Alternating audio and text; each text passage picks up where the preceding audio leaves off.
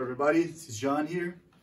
I'm doing this video to talk a little bit about um, one of the songs out of our new record, The Dance Between Extremes. The song is called Our Song.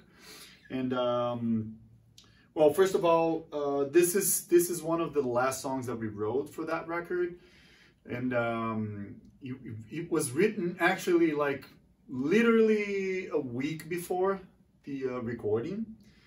So um, it was very exciting for us, for all of us, because we were, you know, just uh, getting ready for, for the record, doing pre-production, um, figuring out all the uh, the structures and the, the last details for each song, you know, before going to the studio.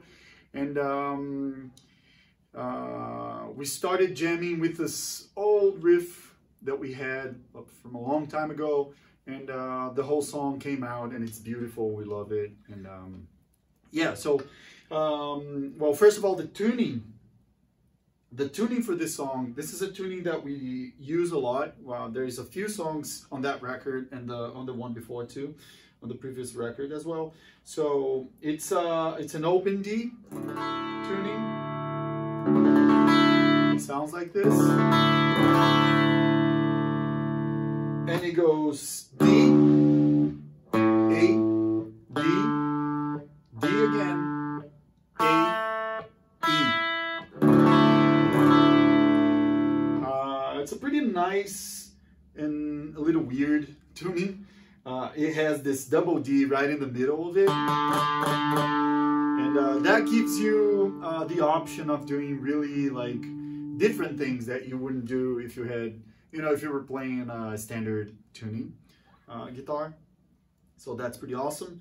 So, um, okay, so after the, the intro, that goes, that I do like just chords, you know, with the vocals, there's this first riff that goes like this.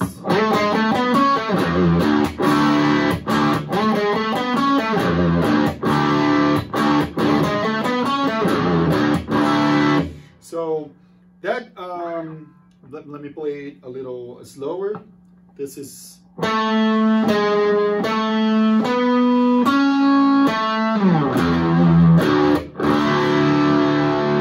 I think it's it's very cool when um, there's like a little little details to it. Like, well, first of all, going going to the uh, the riff, you know, doing the slide and doing the slide off you know so when we go to the riff we do the slide and we go off the riff we do we do the, the slide. And um in the open very open chord at the end that gives you a very um very um, different flavor to it you know? Instead of doing just a riff just a note right here and then the chord you know? Um so it goes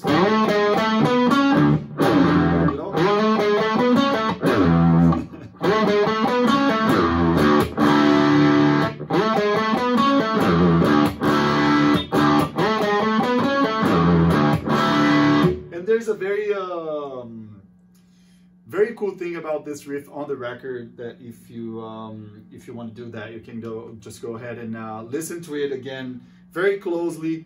And you'll see that um, you hear it um, there is a um, 12 string acoustic guitar doing the same riff like uh, underneath the guitars.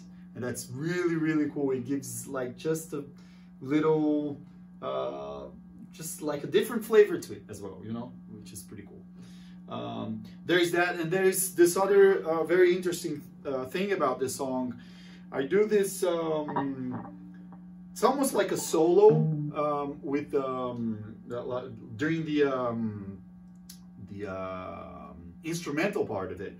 There's this uh, big instrumental part right after the second chorus. And I do this uh, patterns of five. So uh, I'm, I'm, talking about like rhythm, the, the, the accents. It's like um, using five notes uh, instead of four. So we are playing 4-4, but I'm doing accents, uh, repeating this structure of fives you know so it goes like um,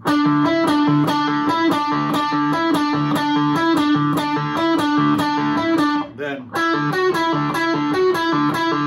and I keep like doing things uh, with this. So it's mainly um, a five, but there's like a few other, you know, uh, things here and there that gives you gives it a different um, um, feel to it as well. But um, this is another thing uh, that I come back to the um, tuning for this song that using the double D right here, I can uh, do the, instead of doing on the same uh, string, you know, I use the other string to do the other note. So uh, I, I, I have a little bit more of the overlapping of it. You know? It's very, very, it's slightly like very, you know, a little detail, but it's really cool.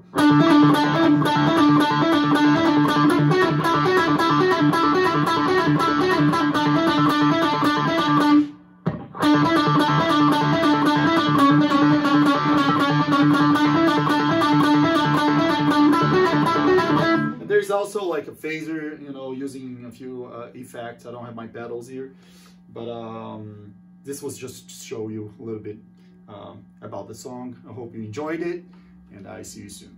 Cheers.